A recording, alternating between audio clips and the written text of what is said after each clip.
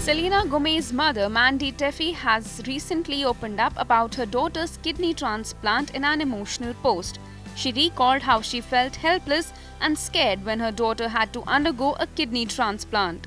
Teefey shared a photo of Gomez with best friend and kidney donor Francia Raisa in the hospital, the same picture that the 25 year old singer shared when she announced the news of her kidney transplant. This picture is one of the most breathtaking images that will live with me forever. For all those moments of not knowing if we were going up or going down, I can always come back to this picture and know we can always make it back up. Teefey wrote on her Instagram account.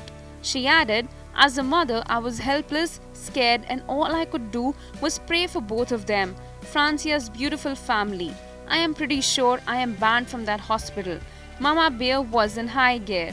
Selena gained a kidney. I was able to keep my little girl, but I also gained another daughter.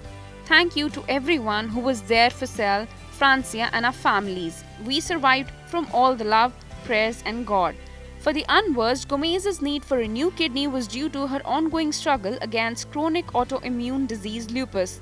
The singer seems to be slowly recovering from the kidney transplant.